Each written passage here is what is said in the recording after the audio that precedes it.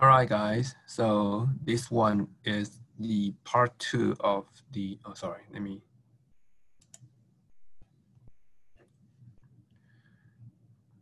All right, guys. So this is the part two of the cardiovascular system. So with this one, we will move on from the heart to the vascular portion. So cardiovascular. So we will start to talk about the vascular portion of the cardiovascular system. And then this portion, uh, if you want to see more of the uh, textbook, this you can find this from the textbook Guyton Hall, chapter 14 to 18. Uh, but uh, but as you you you know as you already know that um, in terms of the exam and the quizzes, uh, all the questions are coming from the lecture only. So the textbook could be a good like a reference that you can go back and read. But if you just worry about the exams, um, you don't need to read those uh, components. But if you do have any question, you can you can email me or ask me during the office hour or email me right now, and uh, um, and uh, or you can read the textbook. So the circulation is is a portion that complete this uh, cardiovascular system. So as, as we already know that the function of the heart is to pump the blood. So when we have talked about the major function of the heart is to pump the blood. And the blood has to come out of the heart to go somewhere. And that going somewhere is through this circulation system. Circulation can be divide, uh, can be uh, divided to two circulation. One is called systemic circulation. That is a circulation to pro provide blood to to provide the oxygenized blood to the body. Um, and the other one is the pulmonary circulation. Pulmonary circulation is to pump this low oxygen blood or the oxygenized blood to the lung. And through the lung, they can get oxygenized. And that's why we, we breathe. The function of the lung is to expose the blood to the air with the air through this uh, alveoli. And, uh, um, and uh, the oxygen binds on hemoglobin. Each, each hemoglobin can bind four oxygen molecule. And that go back to the heart, complete this uh, pulmonary circulation. So one can use this one. So here is the heart uh, from the right ventricle to the pulmonary circulation to the left atrium. So here we get this oxygenized blood. Then oxygenized blood going from the left ventricle through aorta to the systemic circulation and that carry the blood to the different organ. And in the organ, uh, this blood will go flow from the artery to the capillary. And in the capillary, capillary has a very thin vessel wall. So it allows the substance to be exchanged from the blood to the tissue. Uh, that include the oxygen to the tissue, as well as the CO2 generated from the tissue back to the blood. Uh, and then this deoxygenized when blood drop, deliver this oxygen to the local tissue. Blood carry this, uh, the red blood cell carry the deoxygenized hem hemoglobin. So hemoglobin complete this work and uh, this hemoglobin without oxygen will flow back to the heart, to the right, right atrium, to the right ventricle, and the right ventricle provide the pressure, push the blood to the pulmonary circulation. And here, the blood will go from the veins to the artery, and uh, it will go into the um, go into the uh, capillary again. Again, here capillary. Capillary is a place that we have very thin vessel wall, so it allows substance to be exchanged from the blood to the tissue, as well as from the tissue to the heart, to the blood. And here we get the oxygen exchange um, that oxygen substance exchange that the oxygen will go into the blood and the CO2 go into the lung. And then this oxygenized blood will flow back to the heart and uh, uh, complete that pulmonary circulation. So that's the uh, the uh, the blood circulation.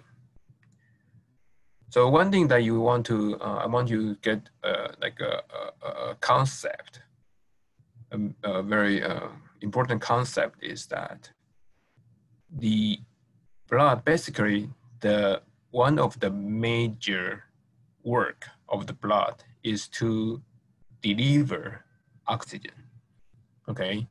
Um, about 97 of the oxygen delivered through the red blood cells through the uh, through this uh, hemoglobin binding of the oxygen. And that is a function of the circulation. So to do that, you need to, to deliver oxygen, you can consider it's like a, airport shuttle, okay, or airport Uber, that their job is to go to the airport right here to pick up the customer here we pick up the oxygen. And then the next stop is to deliver it in uh, either the mall or hotel or downtown, etc. When they deliver it, they finish it and go back to the airport to pick up the customer. So that basically is what blood is doing. So here you need to know that basically each red blood cell has two location, two conduct the substance exchange.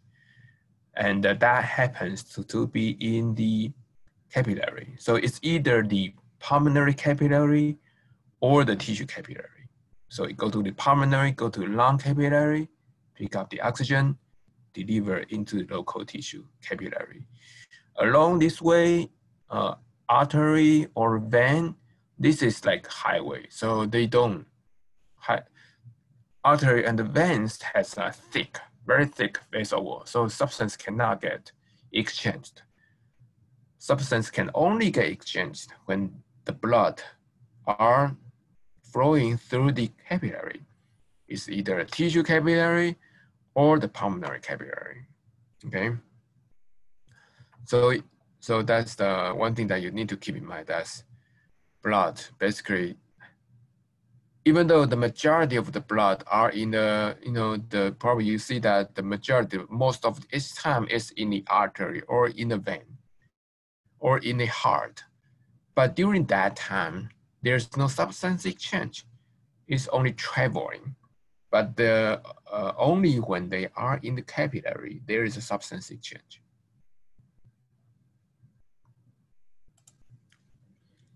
So have that in mind we know that, we should know that even though the circulation include the pulmonary circulation and the systemic circulation, these two circulation connect in series. You go to a pulmonary circulation to get the oxygen. The next stop gonna be in the systemic circulation to deliver the oxygen. And then you go back to the pulmonary circulation to pick up the oxygen. So these two connected in series. It's not like parallel, they connect in series.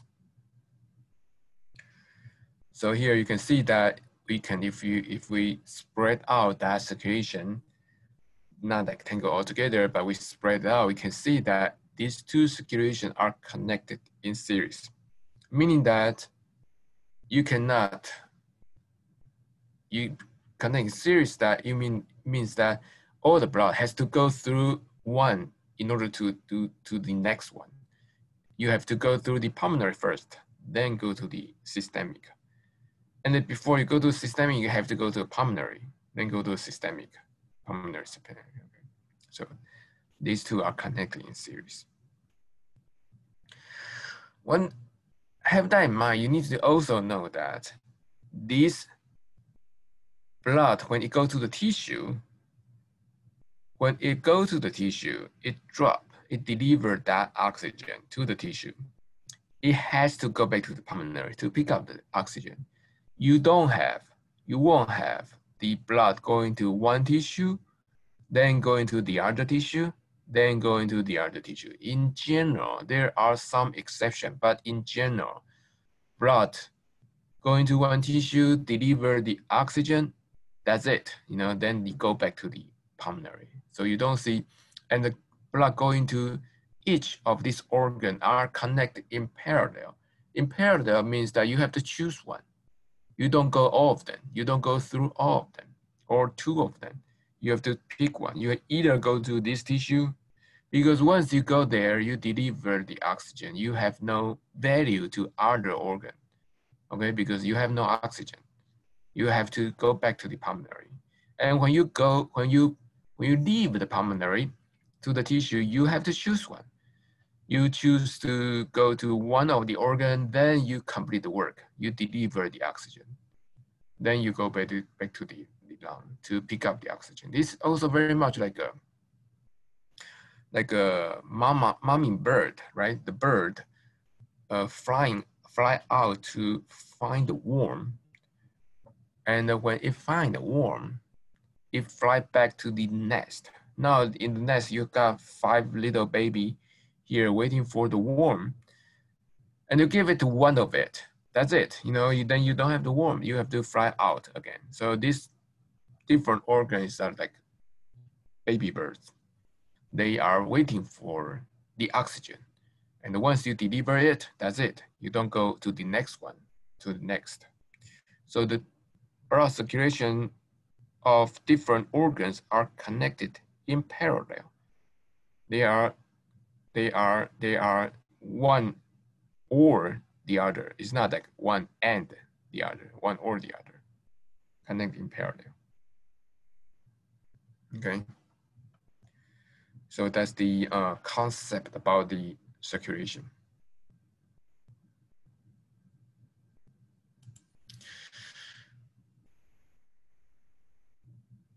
Another thing you need to know about this circulation, this circulation include uh, different uh, vessels as well as the heart, right? Heart contains some blood, but a lot of blood are traveling in the vessels.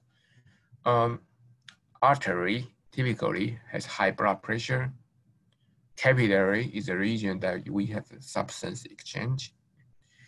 Veins, on the other hand, veins has a, contains the most of the blood. The reason is that vein has high compliance, meaning that if you have blood, the vessel will distend and that can carry, that can store a lot of blood. So vein is the veins are blood pools. That's where we have a lot of blood. So a easy quiz question is that which segments in the cardiovascular system contains the most of the blood. Either the veins, artery, heart, etc. The answer is veins, especially the systemic veins, because veins can distend. Their size can be expand when there is a coming incoming blood. So that's that's something you need to keep in mind. And uh, here is the uh, blood pressure distribution from the heart to the tissue. Okay, so here from the heart, we talk about the heart.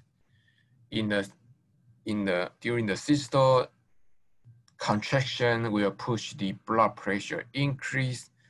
The pressure increase if it's above the threshold, it push blood into the aorta and the pulmonary artery. And then the valve, the semilunar valve close. Then ventricle continue to diastole. And, uh, so the pressure in the ventricle can vary between zero to about the highest, say 120. When we deliver that pressure into the artery, into the aorta, the largest artery direct, directly leaving the, uh, the, the heart, the pressure will range from the 120, the highest, to the diastole 80, because after lower than 80, the valve close. And the aorta would not drop the blood pressure lower than that, that, that like a point when the valves are closed. So that's the pressure range in the aorta, about 120 and 80. So this is in the like normal healthy people. If it's in hypertension, you will have uh, the range much, much higher. If it's low blood pressure, you have the range much lower. So this is systolic pressure 120, diastolic pressure about 80. So this is the pressure in the aorta. And the pressure continue drop through the systemic circulation. Pressure become the lowest in the veins. Then go to the pulmonary circulation in the pulmonary ventricle. The range is about 20 something to zero and, uh, and the pulmonary artery pressure is high, push the blood, this the oxygen blood into the pulmonary capillary, get the oxygenized back to the veins and back to the heart. So what, what what's the point here? The point here is that here we have different vessel, right? As we mentioned before, artery, veins, capillary. Arteries are the one to experience those high pressure, veins basically very low pressure. So that's one thing. The second thing you, you need to know is that so we, we, we are typically for the for the health purpose that we are typically interested in the uh, systemic pressure and the diastolic pressure, right? So we measure that. Uh, very common in the clinical practice. And when we measure it, we measure where in the arm, right? So in the arm, we have the large artery. One thing I want to pay attention is that, uh, keep in mind is that even though we don't measure directly from the aorta, but, it, but the blood pressure in the large artery is very much the same like the pressure in the aorta. So it's close enough, even though we don't measure it from the aorta. Here, give you some numbers, systemic pressure, systemic uh, diastolic pressure is 120, systolic pressure, sorry, systolic pressure 120, diastolic pressure is 80. And uh, uh, the pulmonary systolic pressure is 25, diastolic pressure is 8. You don't need to uh, memorize this number, just you know have a sense that this is range, especially for the 120, 80, these numbers are, are more important because this is, are the number that you typically hear from the blood pressure measurement. That you know that this is typical number. If you hear people saying that his uh, blood pressure is one, 140 something to 90 something, then you have the idea that, okay, you are in the range of the uh, hypertension. So that's the blood pressure. Now, let's look at the structure of the vessel. So here I'm showing you that different vessel has different size. Here it show you the diameter, the wall thickness, aorta, largest artery, diameter is 25 millimeter, is about one inch, less than, a little bit less than one inch. And the, the, the wall thickness is two millimeter. And you can see that the size gradually drop to the capillary. Capillary diameter is about eight micrometer. This is size about the same size of the each red blood cells. And you can see that the thickness is 0.5. As I mentioned before that the capillary wall is very thin and uh, And that, that thinness is needed so substance can easily diffuse across. And that allows substance exchange in the capillary from the blood to the tissue and from the tissue to the blood. Um, another thing you need to know is that the components in the blood vessel, as you can see, it's very much similar, even though the size are vary a lot. The thickness varies a lot, but the components are very similar. We have the endothelium cells in the very inner layer of the vessel wall, elastic tissue, the next one, smooth muscle, and the fibrous tissue on the very outer portion of the vessel wall. So we basically has all these four components in all vessels except in the capillary because capillary is one that we really need to have very thin vessel wall. Otherwise, if we have all these four components in the vessel wall in the capillary, then it's just too thick, you know, it's, there will be no substance exchange. Your oxygen will not be able to deliver.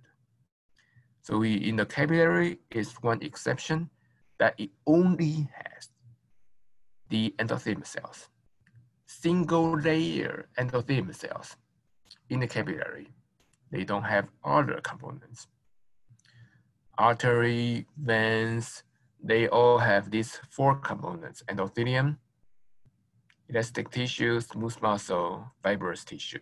Okay, so the quiz question here would be, which vessel doesn't have smooth muscle, for example? Okay, the answer would be the capillary. Capillary doesn't have the smooth muscle. Which vessels contains endothelium? all vessels has, has the endothelium. Endothelium is the single layer of the uh, located in the very inner portion of the vessel.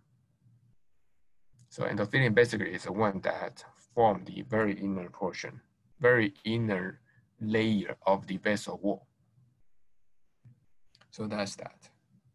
This one also give you another concept that is the cells compose of the vessel.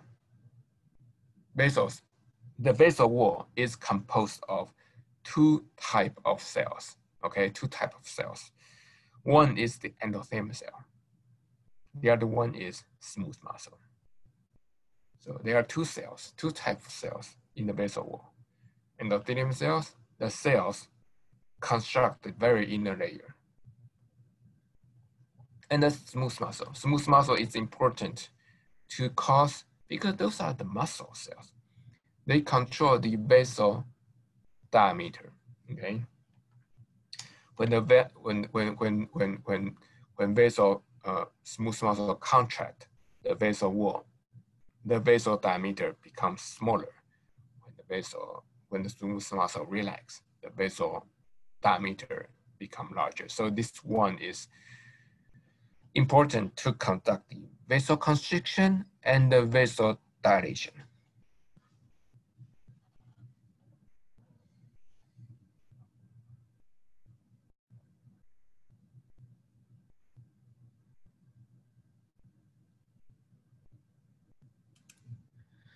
All right, so there are the major components in the in the vasal vas, vascular wall include the endothelium cells, this is the single layer, continuous layer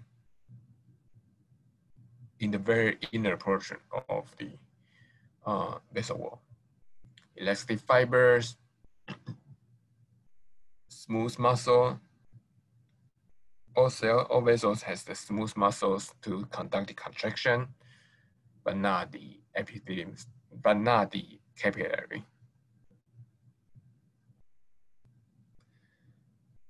and uh, uh, the collagen fibers are the most outer portion to kind of provide some protection and uh, structural support to the vessel vessel.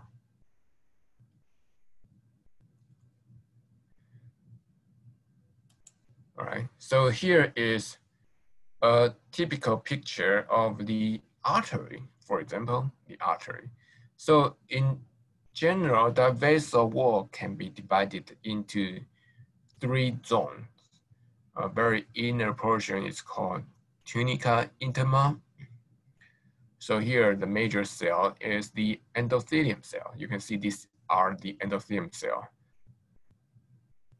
connect together to form very inner portion. You need to, we need to know that these endothelium cells are very uh, important in the way that these endothelium cells are the cells facing the blood.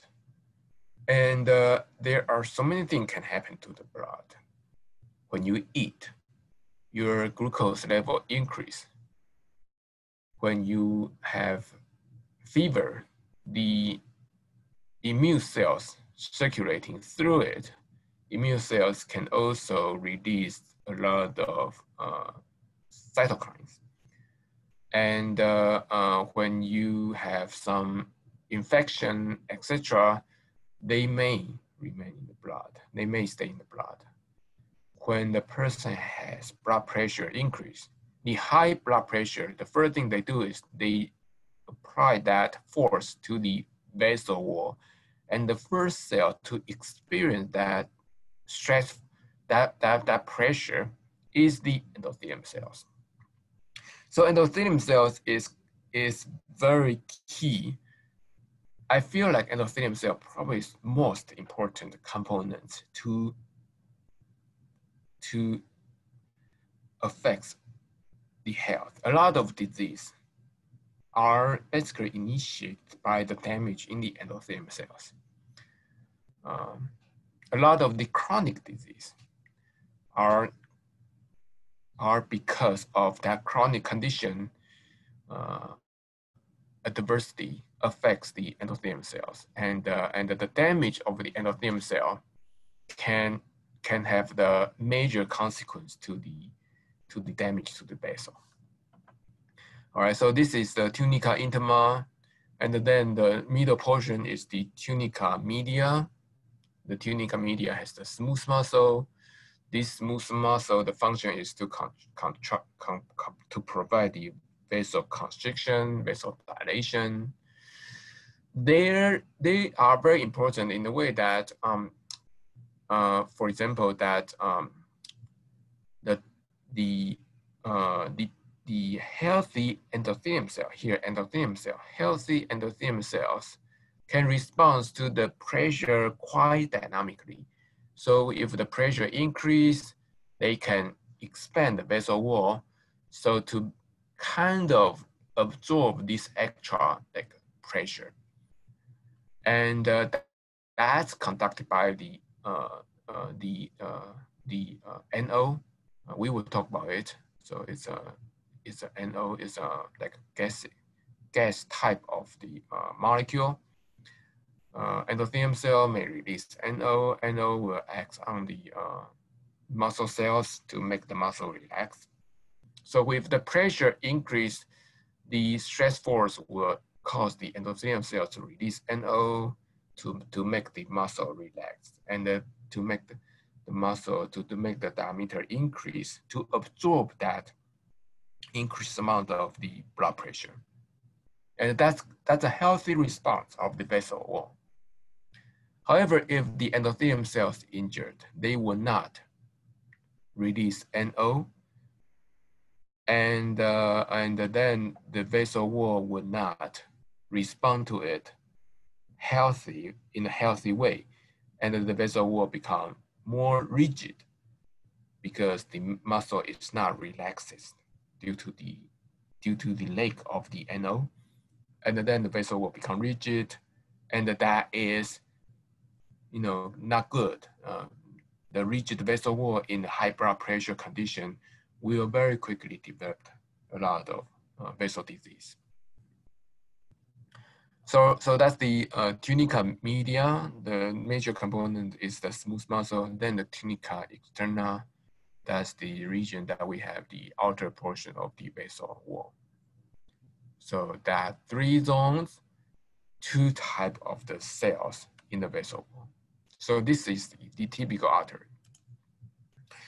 If we compare artery and the vein, we see that they have a lot in common. They all have these three zones, tunica uh, intima, containing these uh, endothelium cells, tunica media, contains the uh, smooth muscle, and tunica externa, the outer portion. So these two are very common.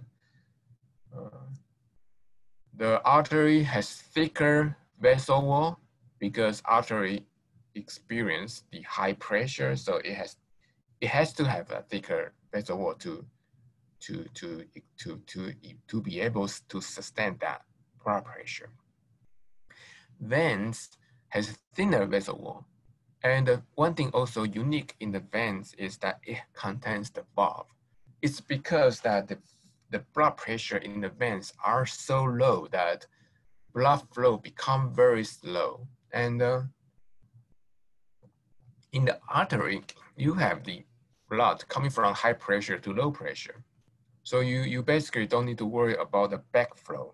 The blood flow only in one direction. But in the veins, the pressure is so low. So you need to have some mechanism to prevent the backflow of the blood. And that's valve for. So when blood go in here, it will not go back. And that's the way that we can continually push the blood to the toward the heart. As in addition to the valve, you, if one thing that we can also do is to do the uh, exercise. When we when we contract our skeletal muscle, when we move our skeletal muscle, that can squeeze the veins and that can also promote the blood flow back to the heart. So the unique part of the vein, that if we compare veins and the artery, vein has valve. So here showing you that the uh, the from the heart, we have the large artery to the smaller arteriole, and uh, that blood, that oxygenized blood going to the capillary, and then going to the vein, going back to the heart right? So, and you can see that basically all of them, all of them, uh, uh, artery in veins has three zones, tunica, intima, media, and externa. So that's the artery and the veins. The next up, let's talk, let's take a look, close look at this capillary. So uh, capillary has only single layer, as I mentioned before, and uh, and uh, even though it looks small, it's is but it actually is very important because that is the place we have the substance exchange. In the artery and the veins, the wall is so thick that you basically cannot have substance exchange. But in the capillary, we only have single layer, and that's where we have the substance exchange. So as I mentioned before that the capillary is a place that we have the substance exchange. Uh, we, we basically, all the blood will go through either the pulmonary capillary to get the oxygen and then go to one of these organ capillary to deliver the oxygen. So substance exchange is is uh, is um, uh, uh, happens in the capillary. So let's look at the capillary. The major function is the substance exchange, all right? So nutrients like glucose, like um, proteins, amino acids actually, uh, the monomer of the uh, protein, amino acids, um, because protein is already very big. We need to digest it in order to get the amino acid. And then, you know, um, vitamin, uh, these important uh, nutrients, as well as the metabolic waste products are exchanged through the capillary wall, okay? This substance exchange uh, happens in the capillary wall through four major pathway, uh, include diffusion, because you can see here we have the single layer of the capillary wall. And uh, this layer is composed of the endothelium cell. So each one is a cell.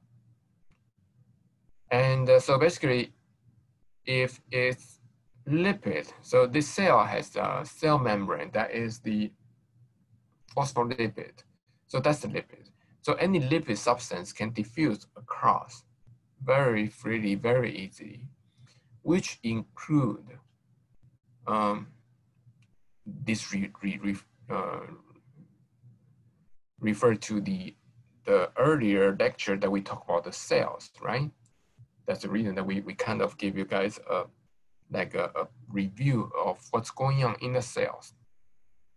The cell membrane can allow substance diffuse across, uh, include gases, right? O2, CO2, water, uh, steroid hormone, uh, and uh, vitamin A, D, K, E. So those lipid soluble substance can easily freely diffuse across the cell membrane, okay? So they can diffuse across. This is thin enough. Diffusion basically defines is uh, inhibited by the thickness as well. So, so since this is uh, thin enough, and so substance can diffuse through quite easy. We also have a intercellular cleave that's here, intercellular cleave, that's the some cleaves here. This one allowed water-soluble substance to diffuse across. We also have a fenestration. It's not showing here we also have a transcytosis through capillary. So we will talk about all these four. So the very first one is the diffusion. This one allows the lipid-soluble substance. So here is the cell membrane showing you that only lipid-soluble substance that include the important one, O2, CO2, and also, as I mentioned before, water can diffuse through through this uh, membrane because water, even though it's not lipid soluble, but water molecule is small enough to diffuse across.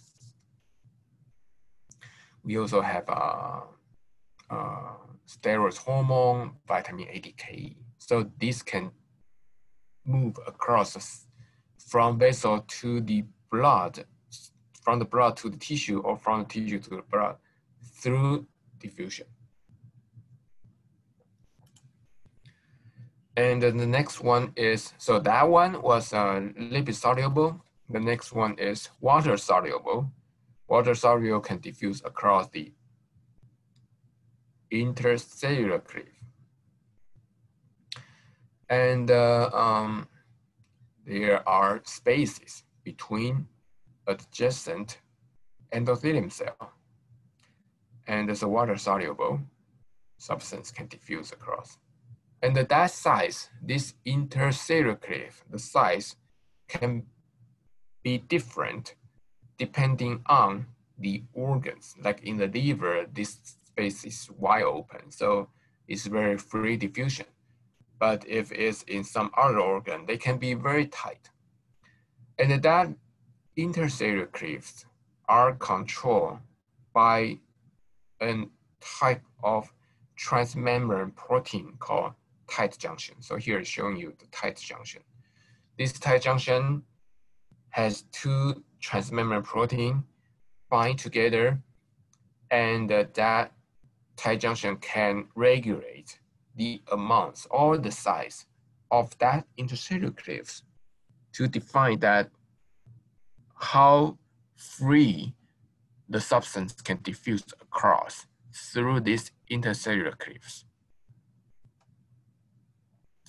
So that's the, the, I want to use this one to kind of give you an overview of what we have learned about this cellular junction because we already talked about this is the tight junction that we just talked about. This one is an example of the epithelium cell. And, uh, and you can see that um, we earlier talked about in the cardiac muscle, we talked about the uh, desmosomes to glue to provide the cellular adhesion between two cardiomyocytes. In the heart cells, we also see saw this uh, gap junction. Gap junction provide the channel that ion can diffuse from one cell to the next cells. And that is how all different muscle cells can be excited all together because their intracellular space are basically shared with each other. And today we learn another cellular junction complex, that's the tight junction. And the tight junction is the one to control how much the fluid can diffuse through that intercellular cleaves. And so these three group of the uh, cellular junction are very common, not just in the endothelium, but across different kind of like uh, organ system. Uh, tight junction is one to control the, to regulate the intercellular cleaves. The uh, desmosome complex are the one to provide the adhesion of two neighboring cells.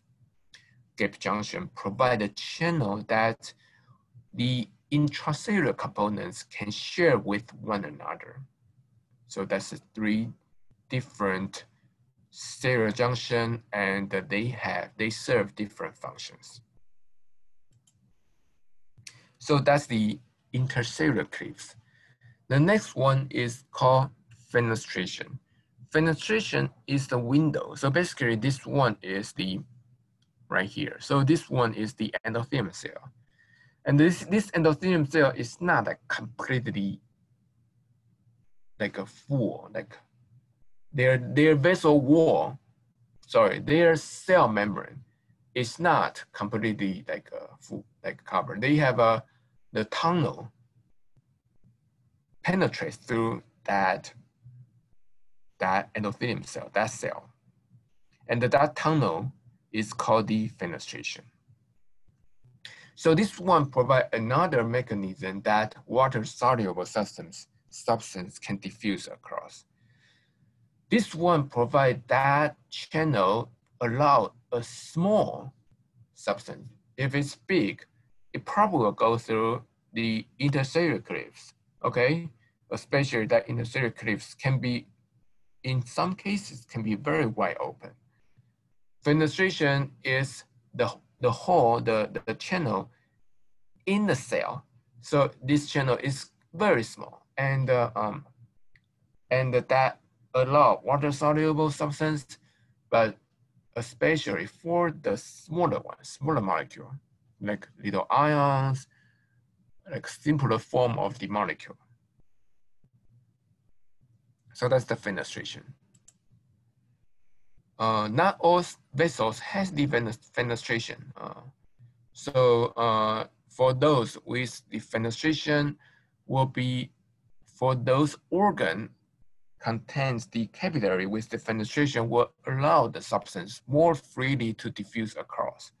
But some organs will control that substance change more tightly, especially like in the in the um, in the in the heart, in the lungs, in the muscle, in the brain. This one doesn't have the fenestration, but in some other organ, like in the GI system, in the kidney, in the uh, the endocrine endocrine uh, glands will, will have more of this fenestration to allow substance to diffuse across.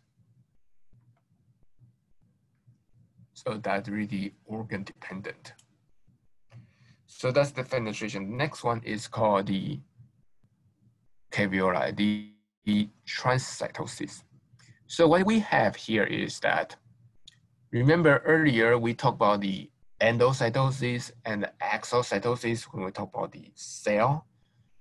Basically, the when the cell membrane has a receptor, that receptor recognize specific molecule. When that molecule binds on the receptor, receptor will conduct an endocytosis to engulf that molecule inside of the vesicle and move that vesicle into the cells. In the same time, we have the exocytosis to move that, to move anything, to move the substance in the vesicle into the extracellular space. So we have the endocytosis and the exocytosis.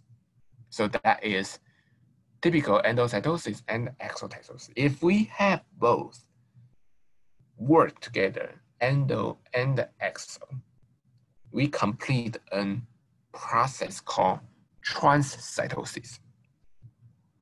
And that is a mechanism we use in the capillary. With this one, we also transport the water-soluble substance because these molecules are freely diffused in either the blood or in the extracellular space in the tissue side. Um, the unique part of this transcytosis compared to the other two, intercellular cliffs and uh, fenestration. This transcytosis is more selective because you have to have the receptor to recognize that molecule, binds on it to activate an endocytosis and exocytosis. So at this transaction, this transportation is more selective. And this, this uh, we don't call it a vesicle, we call it a caveolae. So this is different from the typical vesicles. So here one showing you the typical vesicles.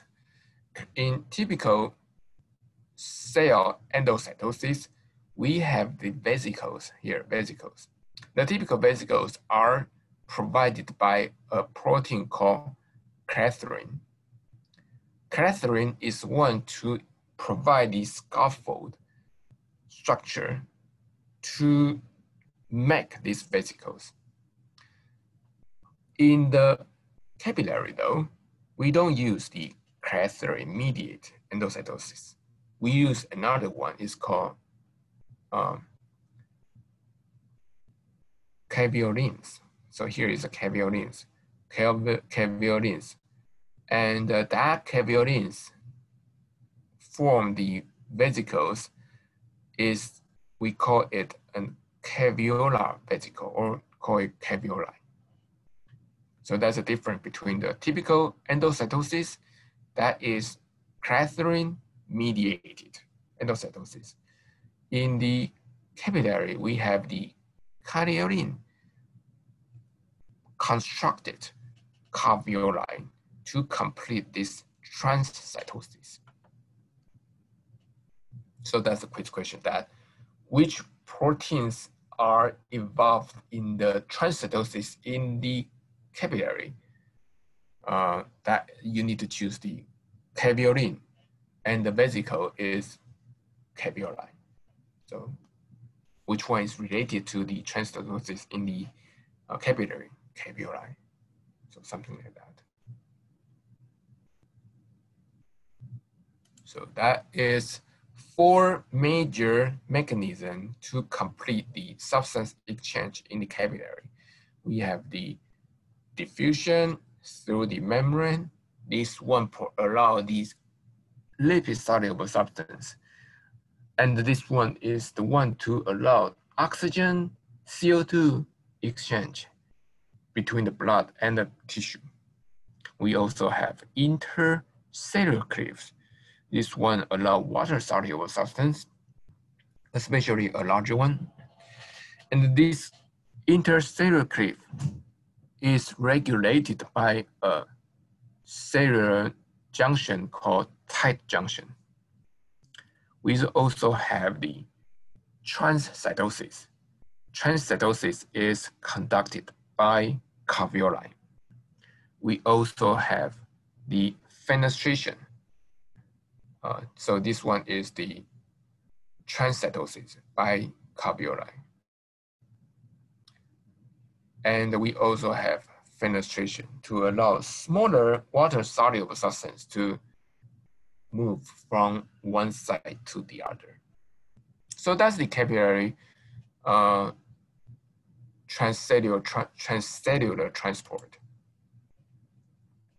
And uh, uh, that's in general four mechanism, four pathway for substance to be exchanged across the cell, across the vessel wall, but that can be varied depending on the organ. In some organ, it's very open, very diffused. Like uh, here, we show you that um, the liver has more like a sinusoidal vessel wall to allow water, to allow substance exchange more freely.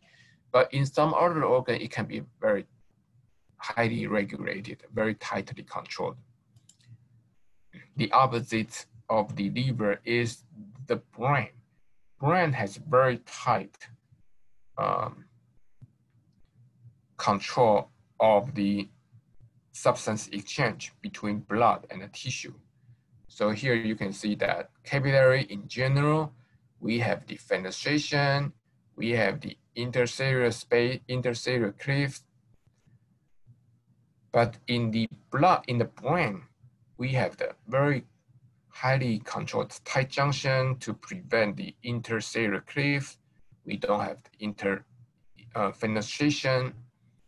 And, uh, um, and uh, uh we also have the,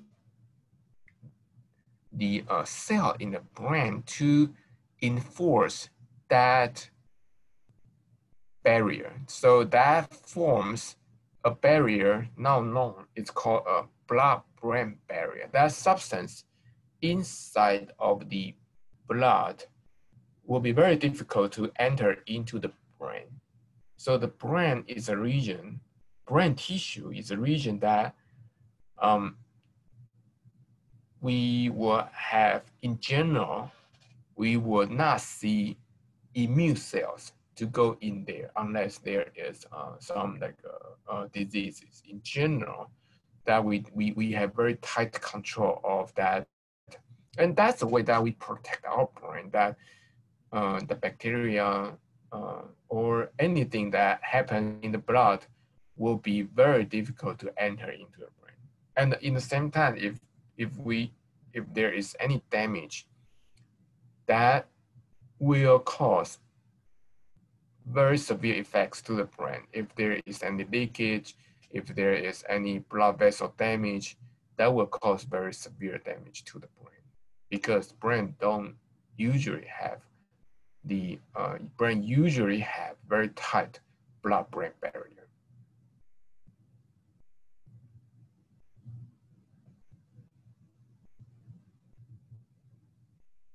if we have the quiz, uh, I'm not so sure if we have, can have this quiz, but one quiz question would be that, yes, we probably will have, but probably not here.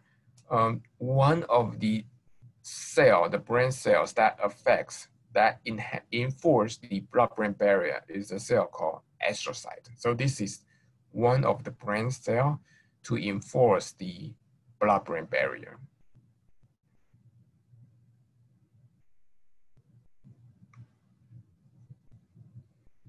All right. So so this one summarize uh, what we, we, we all these different vessel wall in our circulation.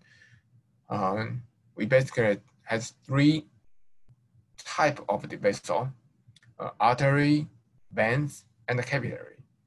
Uh, when we mention each one of these, the first thing you need to think about is that what's their feature? Artery, the feature is high blood pressure. Uh, artery doesn't really mean to have oxygenized blood because the pulmonary artery actually is deoxygenized blood. But all the artery, artery do have higher pressure than the veins. So artery has the capacity to carry the blood with high, high blood pressure. Veins um, would have very similar structure like the artery. It has three zones, tunica intima, tunica media, tunica externa. Veins like artery also have the smooth muscle. The unique portion of the vein is that it has the valve to prevent the backflow. Veins also has high compliance, so it can distend when the pressure increase. It can distend its volume to absorb, to, to store it, to provide the room to store more blood. So vein is a place that we see the most of the blood. The, the region we have blood pool, the major blood pool in the body is in the vein. And the capillary is one that we have the substance exchange. All, all the blood, each blood, each red blood cell basically goes through two capillary beds. One is in the pulmonary to get the oxygen, and then go to the local tissue to deliver the oxygen. So capillary, the unique portion of the capillary is that it has a single layer of the basal wall. This single layer is the endothelium cells. So that's the three basal wall, three basals. All right, so have that in mind. I want to talk about one important disease. This is called the atherosclerosis. And uh, um, we have the concept about the healthy vessel, healthy circulation, what's going on with the healthy artery, healthy vein, healthy capillary. What if things go wrong, right? So we, we, we, we, we cannot talk all different diseases, but one disease I will need to, I really need you guys know, which is the uh, atherosclerosis, because this is a major disease of, this is major damage leading to other diseases, and that is very common in our society, right? So atheros, atheros, atherosclerosis is built up of the plaque in the vessel wall. And athero, given the name, you know, it's related to, to the artery. It's because that it's usually not in the veins, not in the capillary, it's in the artery. And uh, um, and, and there are several reasons for that. One is artery is one to experience the high blood pressure.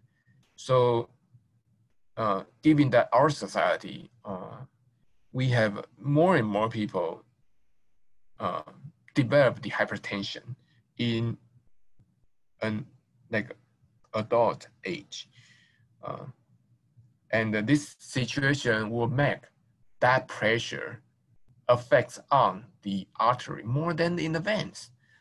So that will cause damage. And that's one reason, okay? And uh, so the process of the development of the atherosclerosis begins by the damage to the endothelium cells because that endothelium cell is a very inner layer of these cells. And that can be affected by so many things. High blood pressure is one we talk about. Hyperglycemia, the prevalence of diabetes is also very common in our society is also very high in our society. So uh, especially nowadays that getting glucose is so easy. People drink sugar water so easy, right? And um, and the, and and that actually start with very young age. Um, that hyperglycemia can also affect the endothelium cell, so hypertension, hyperglycemia hyperglycemia, inflammation, right? So those can cause damage to the endothelium cells. So the very first one is the damage to the endothelium cells. And then the endothelium cell is injured. The next thing is that it cannot protect the vessel wall. Furthermore, we will have the uh, lipoprotein, especially the low density lipoprotein. This low density lipoprotein contains what? They contains major portion is the cholesterol, all right? High density lipoprotein contains more triglyceride and proteins. Low density lipoprotein, this low means low protein, but low density lipoprotein also have higher cholesterol components in it. So this low density lipoprotein will sneak into the vessel wall because vessel wall is not protected anymore. The endothelium cannot protect it, it's already injured and that will cause the uh, uh, start to accumulate in the uh, in the tunica intima, the very inner portion. Some smooth muscle will also migrate to the tunica intima. They, this LDL uh, will be oxidized and become triggered because that stay in the vessel wall, and we need to get rid of it, right? Our body will, will try to get rid of it. The way to get rid of it is to have the phagocytes, um, to the have these um, monocytes coming here to engulf, to have these macros, macrophage, the monocytes, to come here to engulf, to take away, to eat this LDL.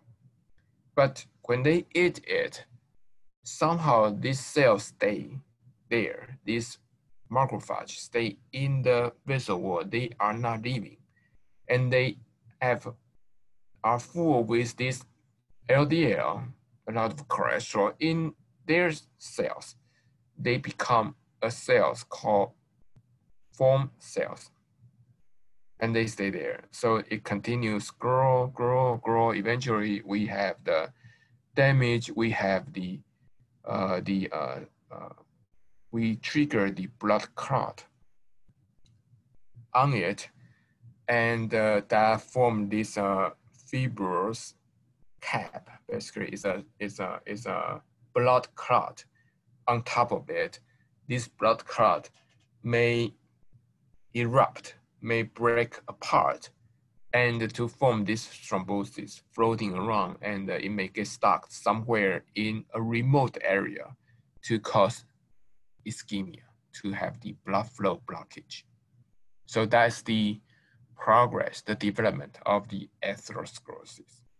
So key questions here is that the first step, the first damage of the end of, of the atherosclerosis is damage to the endothelium cell, okay?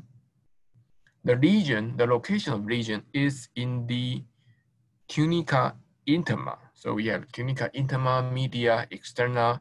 Atherosclerosis is the lesion in the tunica intima, in the inner portion.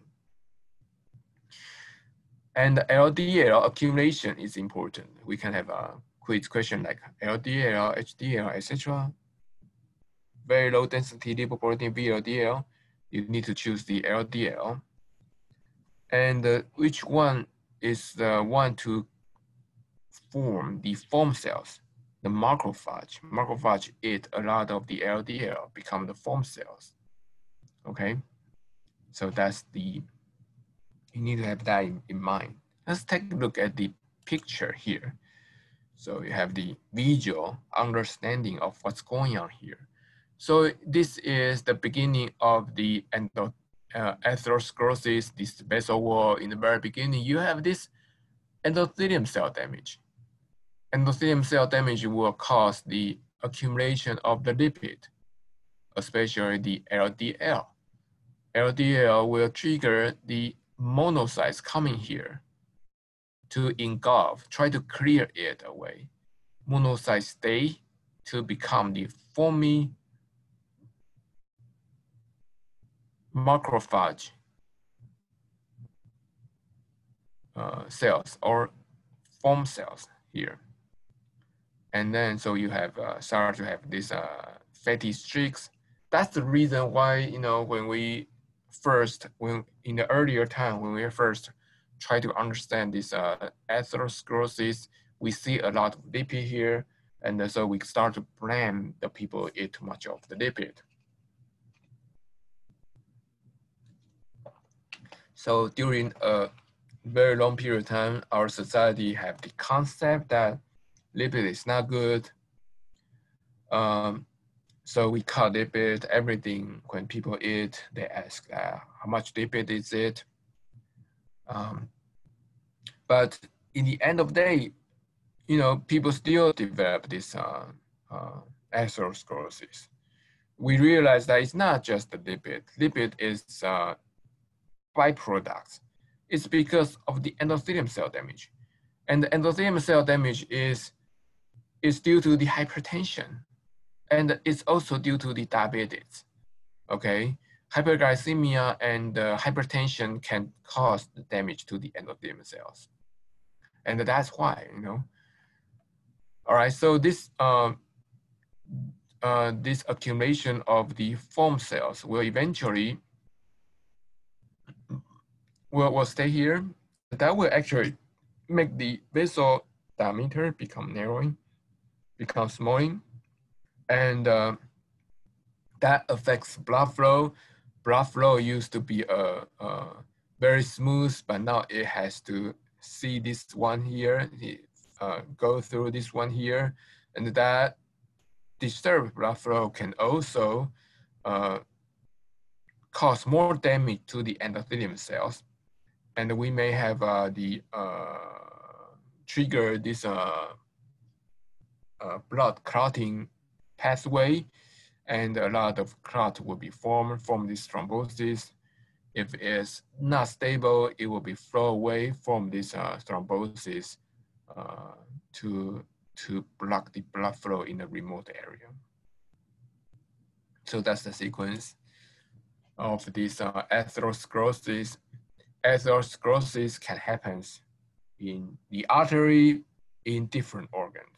If it's in the brain, it will eventually lead to the ischemia, and that's a stroke in the brain. We have lack of the blood flow. When we have a lack of blood flow, we basically have lack of the oxygen. Cells without oxygen will die. Without glucose will die. So that's the um, uh, cause of the cerebral ischemia, the brain disease, right? The stroke. If this happens to the coronary artery in the heart, then it blocks the blood supply into the heart. The um, it will cause the cell damage in the downstream of that branch of the artery and to cause the uh, infarction and to cause the heart disease. So, so it really depends on where it happens and uh, the consequences are all very bad. I want to show you this one. This is the um, data from, I remember it's about like uh, 17, 2017. So this is data uh, showing you the leading cause of death in America. I remember we showed something like this earlier. Like heart disease is the number one, cancer is the number two. The third one is the um, chronic lower respiratory disease. So this one includes the, COPD, chronic obstructive lung disease, pulmonary disease, uh, like uh, emphysema, etc. And then the third one, the fourth one is stroke, the brain disease. So you can see that the, in this top four cause of the death, two of them are related to the atherosclerosis, right? The atherosclerosis in the coronary artery causes heart disease. The atherosclerosis in the, in the brain causes stroke. So this is quite critical, very important.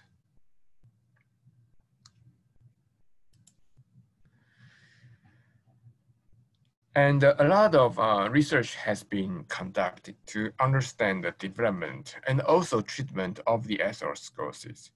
I just want to give you a concept that you don't, you should not think that, okay, I'm young, I am, I can do whatever, you know. Uh, if you are not, if you are my age, I have kids, um, you should know that um, this development of the atherosclerosis actually start at young age. Say by 45, 50, you start to have some, not you, but people start to have some build up of the atherosclerosis. That actually take about 20 years of the development. So this epithelium damage is actually begin very early at the young adulthood. And uh, that actually the time that you should already pay attention. Like your 20s or your kids, like teenagers, you should already pay attention on their diet, their living style to to uh, to to live a healthy life because the initial developments of the atherosclerosis actually begin at very young age.